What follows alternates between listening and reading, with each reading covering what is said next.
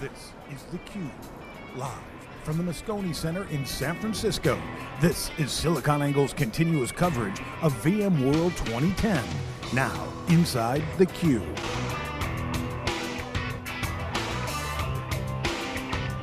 We're here live back at VMworld 2010, SiliconANGLE's continuous coverage, blanket coverage of VMworld 2010 covering all the angles of cloud. CloudAngle.com is our new site, but we have a, a special guest, Scott Genereux from QLogic. And uh, if you follow SiliconANGLE, you know we've been covering these guys in the beginning because they are a small company doing a pretty big thing. They're in the fiber channel business and have a new approach, and uh, we're going to talk about. It. So, Scott, welcome, welcome to the show. Dave Vellante, my co-host, founder of Wikibon.org. Scott's good to have you back. Thank you. We're going to talk about convergence because the whole show here is about convergence. We've been talking about it for a long time in the industry, but with cloud and applications kind of coming together, uh, it's changing the game in the data center. And you guys are a major data center player uh, out there with uh, Fiber Channel, which has been the staple technology for storage, and it's now moving into networking, converging with compute. Um, what's driving convergence? I mean, you're at the you know that little ingredient that kind of makes it all work your business is changing. Talk about what is convergence. Yeah, so for us, when you're out talking to customers, what's predominantly driving convergence really still comes down to this question of, you know, cost related to the infrastructure. You've got a lot of different pieces, you've got a lot of different islands of information, and what everybody's trying to do is they're trying to get to a common stack and simplify the environment. So when you look at that as a whole, you say to yourself, what we're trying to do around convergence, specifically as a company around FCOE, fiber channel over Ethernet, it's actually a pretty interesting and nice fit when it comes to that. But a lot of it still is driven, you know, by that. So you go back and say to yourself that, you know, a while back it was storage, right? You know, how do you consolidate storage down to, you know, single footprint, improve environmentals, improve the, you know, cost management simplification type information, right? The next came obviously what we're doing here, which is really you know VMware, right? Virtualization of the servers. So the network convergence is actually really the next step when you kind of look at it. And then when you look at the fact of taking you know these big pipes, Ethernet, combining the two together, it makes a lot of sense. Tom Georgens was on just earlier. He's the CEO of NetApp, and you know we asked him specifically around virtualization being the core of this, and you just mentioned that. But but everyone talks about virtualization cloud servers. He brought up that it's the network uh, is is one fa fact, but storage and virtualization has a huge benefit for storage. So talk about uh, where virtualization fits at this storage. Is I/Os involved? You got devices out there. What, what's your angle on that? Well, I think it comes back down to what we were talking about earlier. I mean, at the at the very highest level, once again, a lot of this comes down to, I, I, you know, I take a step back sometimes. I think the amount of data that's being created today is huge. Um, I go back and I think to myself that there weren't companies before like Shutterfly and Facebook and all these types of companies that are out there just storing everything. Uh, they say that there's so much data out there that's being that's growing, even in the bad economy people are still storing a ton of data across the board, right? So, similar situation. Consolidation, power, customers still have to figure out how to manage this whole infrastructure, right? And I think that's really key. But on top of it, which I think is important, is this question of we're saying let's cut stuff up and virtualize it, right? So to do that, you need to make sure at the end of the day you have big pipes that are able to you know manage these infrastructures to go do that. So uh, let's talk about some of the big whales out there, uh, like uh, Google, Facebook. Um, they have huge data centers. They have clusters of servers. They take you know off-the-shelf servers, virtualize them. They're running you know Hadoop backends, huge big data. Um, they need to have a new I/O strategy, fiber channel, or a new approach. Um, talk about that, and and also comment on a rumor that I'm hearing that you guys uh, have uh, Google's buying a boatload of your products. Can you comment on that? Um, well, I don't talk about our customers uh, without their permissions, but I will say that most of the large cloud computing companies that are emerging are using our technology in most of their um, infrastructure. For the same exact reason, you go back. One of the advantages I think QLogic has as a company is that we're just not a fiber channel company. We have fiber channel, we have Ethernet, we have iSCSI, we have InfiniBand. We have it across the board. So when you look at networking protocol, these guys still need networking protocol, regardless if they're buying it off the shelf from somebody else, like a you know an EMC or a NetApp or an HP or whoever, or if they're building it themselves. And as you said, a lot of these guys are building their own infrastructure. They're buying stuff off the shelf and they're building it themselves to be able to give them the kind of scalability and the performance that they want to do. Out of all that, they still need this ingredient of their overall solution of I/O connectivity. Now, and they're not going to make that ingredient they're not going to make it right? themselves. It's too costly. The, the barriers to enter into that, so they're going to buy it from somebody. One of the things that I think they really like about us as a company is the fact that we have all of it. So it's one company once again to deal with. It's not dealing with five different individual companies. And you know, we talk a lot about FCOE. There's companies that have storage devices that are built on the backbone of InfiniBand, right? There's companies that have obviously Ethernet driven. We have all of that technology to be able to build that. So depending on the type of potential niche, because some cloud computing companies, um, regardless of their storage or uh, server centric, some of them focus on SMB, some of them focus on enterprise, and depending on the type of environment they're focused on, might require a different type of protocol. You know, one of the interesting things to me, John, about uh, QLogic and this space in general, I mean, I used to follow the disk drive business many, many years ago when I was at IDC, and these are incredibly complex devices, and they, they command, what, maybe 20%, 30% gross margin. Uh, things like fiber channel cards, right? Little card that you stick into a server command 60 plus percent gross margin. So the point is, it's really hard to do that stuff. It's not a lot of ton, ton of competition, but the competition is very fierce. And then you've got this extended business that you just talked about, where there's a lot more competition, Intel, Broadcom, and folks like that. What's interesting to me is the way in which QLogic, and I want you to talk about this, Scott, is extending its brand. You're not really just a card player anymore. You're becoming more of a, a data center, I'm an arms dealer for the data center Right. across the board. Talk a little bit about that. Is that a, a strategy of yours to really extend that brand, or is that sort of just happenstance? No, I, I mean, I think it is a strategy as a company. You know, when, when I came to the company, everyone would say, wow, you're going to a fiber channel company, what are you doing? And I kind of thought it was interesting because we took a step back and said, you know, QLogic isn't a fiber channel company. Don't get me wrong, fiber channel is important. There's a lot of customers out there. We have 9 million ports of fiber channel installed throughout most of the major, you know, enterprise applic- you know, companies around the world. But you know, there is a convergence going on, right? And it's, you know, fiber channel and over Ethernet. We have Ethernet technology. We're one of the leaders in that space. Um, we definitely are an InfiniBand leader. Once again, a lot of hype on InfiniBand a few years ago. You're starting to definitely see it more core. Used to be only HPC type focus, high performance computing. Today, you're starting to see a lot of companies start using it in their applications. You know, Oracle's a great example of that, right? I mean, you know, their high-end database solution, it's very InfiniBand type focused for them as a company. So you're starting to see it go into the enterprise now as, as an application.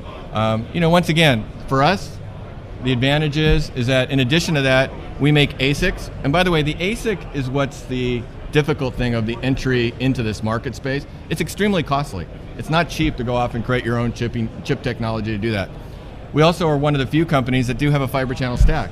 One of the keys to a lot of this convergence type technology, especially in the enterprise space, is that there has to there is a fiber channel component here. And there's only a couple companies out there that have that, and we're one of those. So I think we have a benefit across the board, but ASICs, boards, and switching. I mean, let's not forget we do make you know switches, and we have that type of technology You- also. You know, Stu Miniman is our newest analyst, and he's the one who he follows this space very closely. He used to be at EMC as a customer, Right.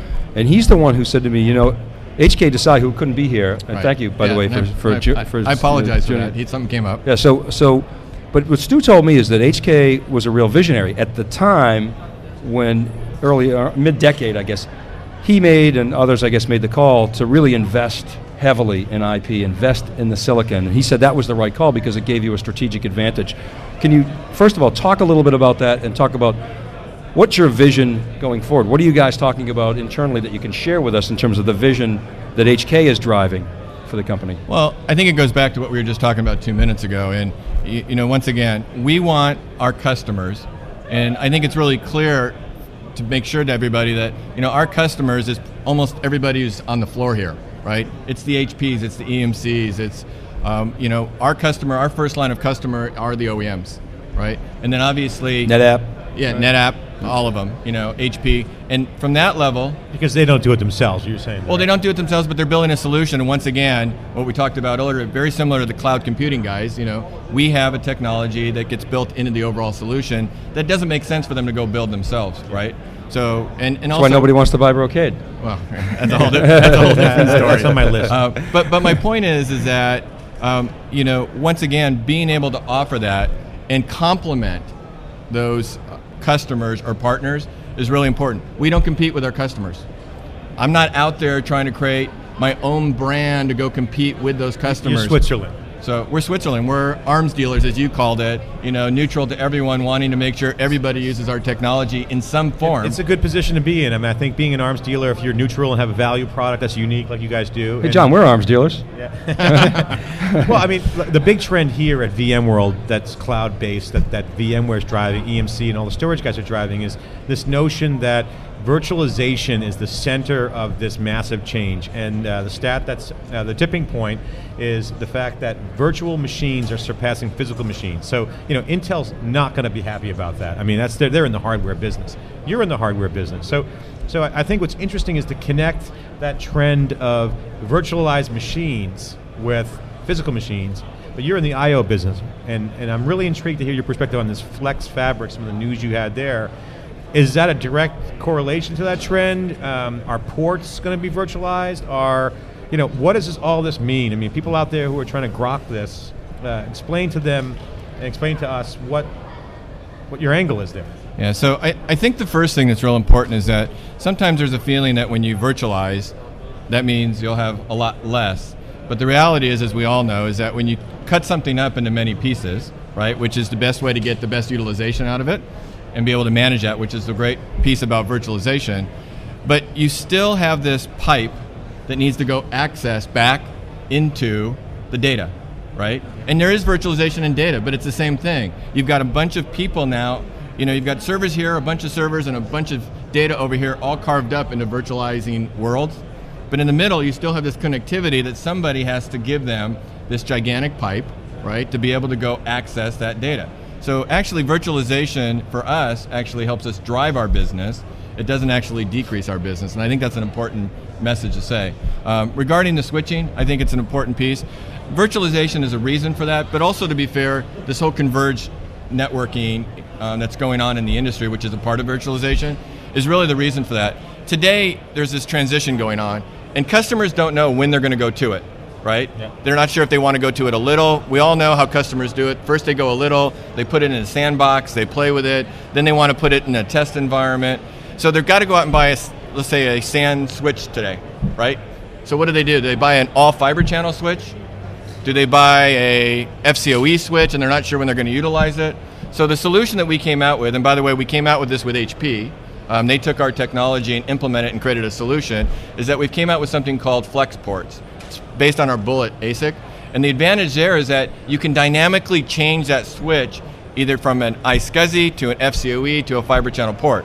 So what customers really love about this is the fact that they could technically buy it today and make it all fiber channel So, uh, I mean, that's and then and then wait, hold on. And then three months later, as they try to convert, they can take some of those ports and make them FCOE, and some of them fiber channel, and some of them iSCSI, and they can do changer. it. They That's can do it all dynamically. Well, it is, and the reason why it's so important. If you look, I just saw some data recently, some from uh, ESG and other from EMC. Actually, Chad Sakac did a survey, and if you look at the protocols that are out there in virtualized environments and VMware specifically, it's like a like a bevy, right? Right. It's iSCSI, it's FC, it's it's CIFS, it's NFS. I mean, the whole deal. And you guys are, like you say, the arms dealer to all of those. Dave, Yeah. Dave, you know you you've been in the research business for years. IDC now, Wikibon. I mean, doesn't that change the game on like market share reports? I mean, because you got ports always driven by like ports. I mean, if that's just got this virtual port concept, what, what does that mean? I mean, does that change?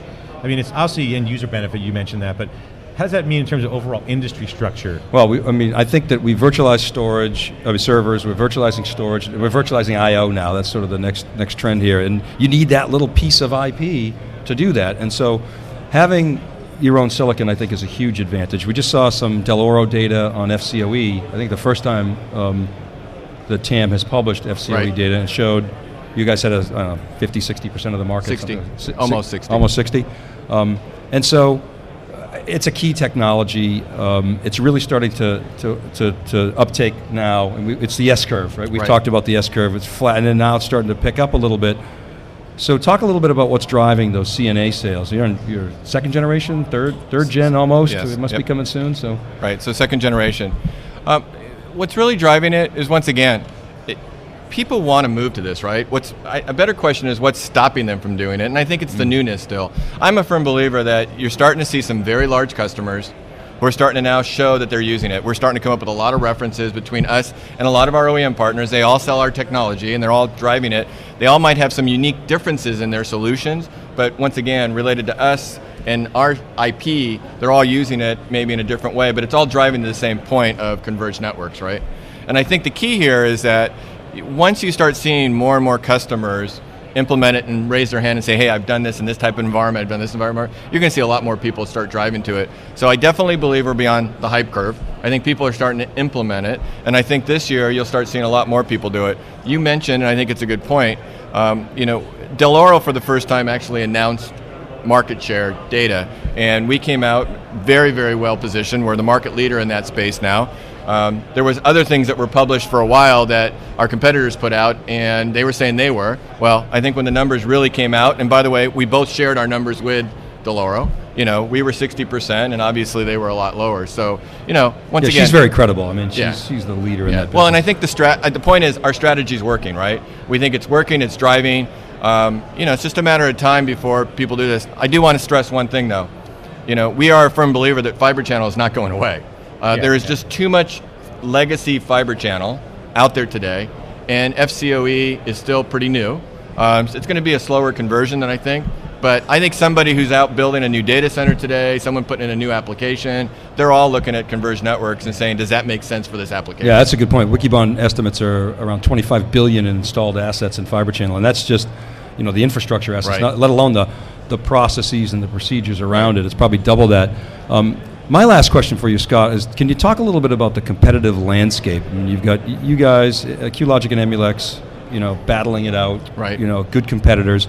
Then you've got this, the whole Ethernet gang, right? Intel and Broadcom. You've got, you know, Brocade coming in. Brocade, yep. Talk about um, your positioning. You look very well positioned. Not a lot of gaps in the portfolio. Core switches, maybe. Right. And maybe you want to announce something here in the queue about that. No, okay. Come on. But talk about why you're well positioned with that that landscape. Yeah, so I think you got to look at them all a little differently, right? So Broadcom and Intel, obviously more the what you would call the traditional, you know, Ethernet play. I, I think the struggle that they have is that there is this convergence going on, and the convergence means Ethernet and fiber channel.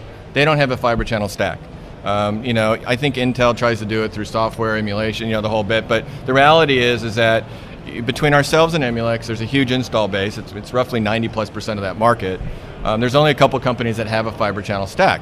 So one of the things I think that they always struggle with or will struggle with, and I think one of the reasons they attempted to go after Emulex was the fact that they needed a fiber channel stack.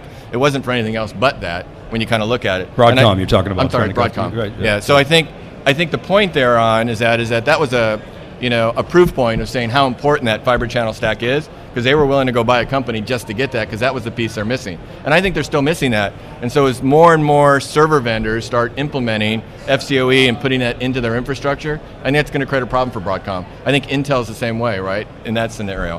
Um, I think the other thing too, as we talked about else, is that InfiniBand. InfiniBand, we have InfiniBand. Neither one of those guys have that type of technology either. So once again, depending on what a customer wants to do and build, we have that technology. Regarding Emulex, obviously they have a fiber channel stack.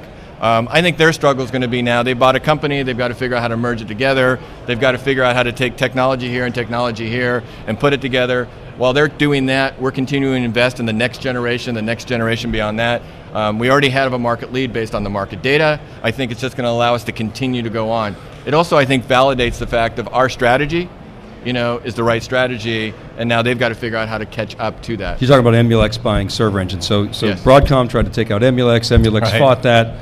Uh, uh, Emulex was getting its IP from ServerEngines. Right. Had to integrate that because, Right. you know, for obvious reasons, you got to own your own IP.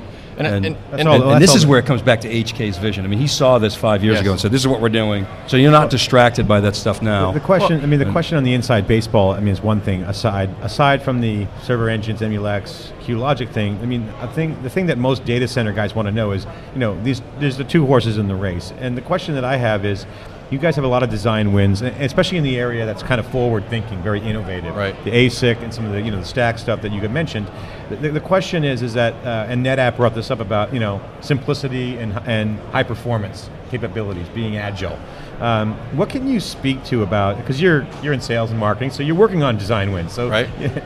OEMs they work on a, on a lead schedule that's out. Share with us what you can around some of the conversations around what's around the corner that that you can. I mean, obviously simplicity and high performance is what NetApp's driving to, the agile enterprise.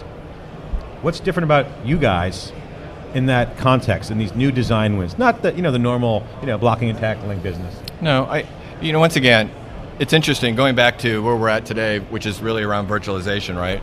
Um, as every step of virtualization, when you look at the servers, it, it's the new chips, right? That tends to be the next cycle, as you call that. Chasing the chips. chasing the chips. I call it what you want, right? Um, and you know, you need something bigger and faster, lower power, typically, because green is very important in this you know type of environment we're talking about, and that tends to be you know a big driver. Our business also is very tied to the you know that that, that piece of the business, right? Because when that gets upgraded, then of course, once again, having the right kind of bandwidth to be able to connect through is important. Server refresh. You know? yeah, baby. Well, yeah, no, but it's, it's an important piece, right? And I think I think it's an important driver. So a lot of you know when you start talking to the OEMs and our customers, a lot of them are tied to those types of you know cycles as we start building it. Mm-hmm. But I you know I think you're going to see, and I I think mean, you, their use case. So talk about the use case. What do they want? They want what? They want faster, smaller, cheaper, or They- inexpensive. Well, right? they do, right? You know, better power.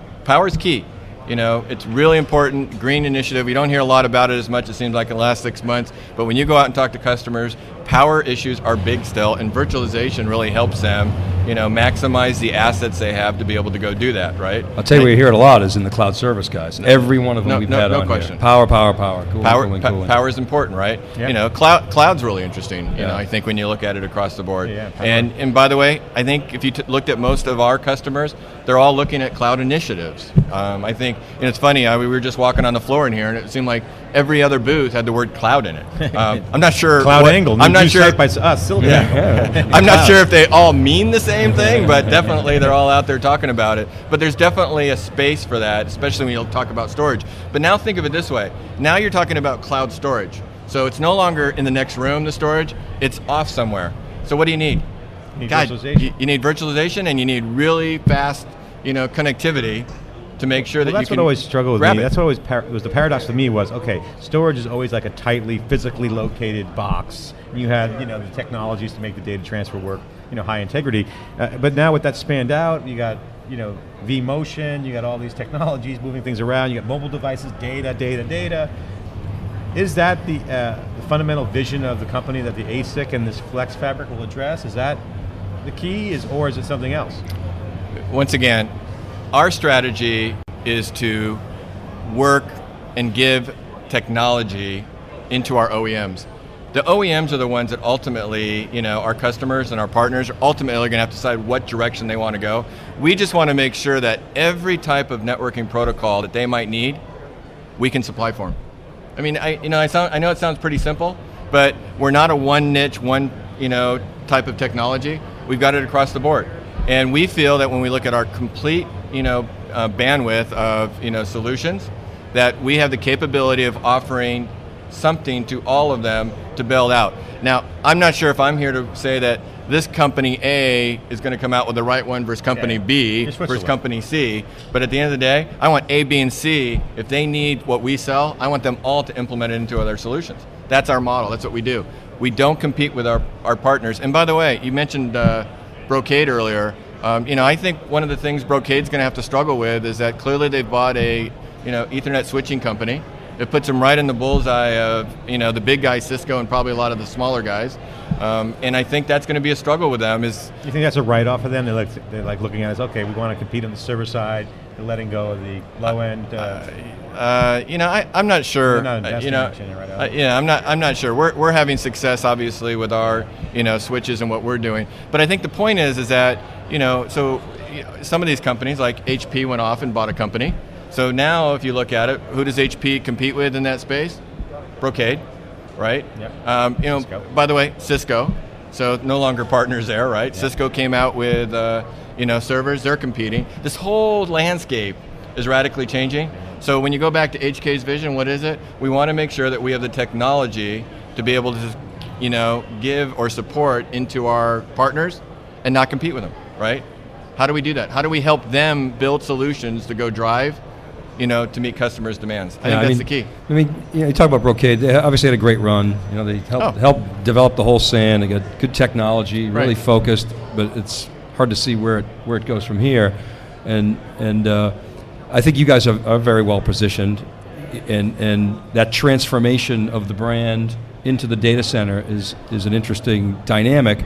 Um, QLogic likes the hard stuff, right? And you do the hard stuff well, the stuff that a lot of people don't want to do, or doesn't make business sense for them to do. As I said, that's why yeah. the server company doesn't want to buy Brocade because they'll be selling to all their competitors and nobody will buy from them. I- So I was talking to an executive from a big networking company, and I can't say the name of it, but uh, I'm like, hey, you know, hey, like that QLogic uh, stories on the blog, and I'm like, oh, cool. What do you think? I mean, I like these guys, it's- and, and covered their new direction, like it, innovative.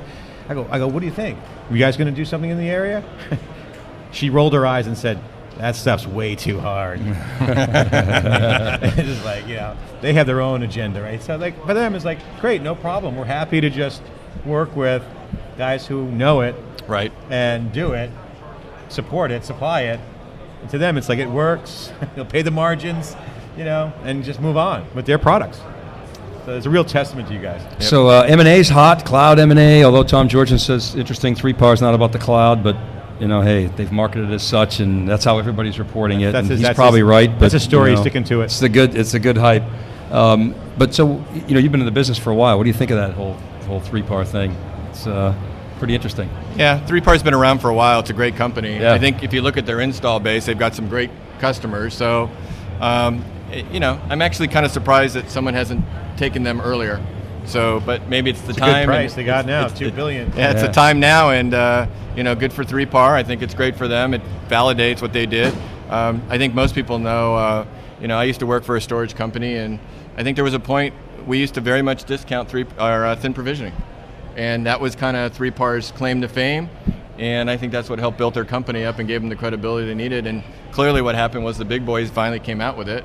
I don't think they came out with it quite as well as 3PAR did it, but I think that. Um, Well, you know how it is when you start with a fundamental architecture, you know, build it around an ASIC, and, and that's your whole, you know, raison d'etre. It makes a better product, and There's no question. That's what happened. I mean, that's what we do. I, also, once again, and it's interesting. You can i- i- maybe it's it's a theme around virtualization, even though it's not, but it's really around simplification, right? Mm-hmm. And how do you reduce cost? And you know, 3PAR's whole story was around what you know, trying to reduce the no, amount of you know terabytes that you had to buy. And if you're a big boy, you know. We'll leave their names out of it, but you know we all know who the big storage companies are. Who's next? Who do you, think know? going to go next? Yeah, I mean, but no, but my point is, is that if you were if you were a big storage company going into your install Yeah, yeah, base well, and trying to convince them to eh, buy 20 or 30 percent less Yeah. because you can implement this Gonna make less money, right? it didn't make sense. That's why you need startups like 3PAR, you know, to come out with some of that innovation and drive it in the industry. And I think they did a good job with that. And It's a great know, point. Good, good for them. And you know, hopefully, uh, That's a key theme of this conference that, that I was looking for was, you know, what's the angle on the startup community? And it's, you know, unanimous across the board from Pat Gelsinger down to the VCs uh, and, and our guests that, you know, startups are very much in a good position to capture some white space, um, which is a small segment for the big guys, but a big segment for a startup. So, you know, we're expecting to see and cover a ton of startups coming out, doing things different. Yeah, I think I think startups um, are, they're almost the incubator now for some of these bigger companies, right? You know, they, they Yeah. go out, they they sample it, they play with it, they get it to work, and they get to a certain size, and you know, most of them get gobbled up, right? Uh, liquidity uh, is there. yeah. I mean, liquidity. is no real IPO market. So you know, Pat, Tom Georgens said this. Not, not everyone can do R and D. So I agree with you there. Yeah, I mean, IBM just completed the acquisition of Storwize this Right. week, right? It's, this is a company with maybe three million dollars in revenue, sold for 140 million. and because people realize that you, the point you were talking about earlier, Scott, all this data, we got to compress it, and even after we compress it, we still got to jam it through the pipe, and even after we do that, We still need bigger pipes, and No it's question just about it. never ending. So QLogic's pretty well positioned from that standpoint. Yes, there's a lot. There's a lot of data being created all Well, the time. rising tide floats all boats in cloud, and a lot of from up and down the stack, and to you know virtualization at the server, storage, I/O, big story. You guys are a big part of it. Uh, uh, we're here at SiliconANGLE's continuous coverage of the Cube at VMworld Live 2010 with Scott Genereux, who's the senior vice president of sales and marketing at QLogic. Thanks so much for uh, joining Thank us and sharing your uh, opinions and analysis. Yeah, and it was great to have you on. It was a rare, rare long segment in the schedule where we didn't have a back to back to back. So we appreciate you spending a Yep. little extra time with us, you. talking about the industry. Yeah. Great perspectives. Great. Thanks. All right. Thank you, guys. Thank you. We'll be right back. We're going to go to a break and then come back with some news. Um, so come right back uh, this afternoon. Thank you. Yes.